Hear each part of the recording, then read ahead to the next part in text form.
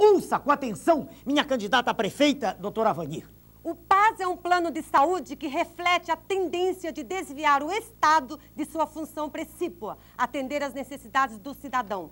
É mais uma farsa que veio para iludir nossa gente. Eu tenho coragem de falar. Nenhuma instituição voltada para o lucro está preocupada com os pobres. Isso cabe ao Estado. 56, meu nome é Avanir.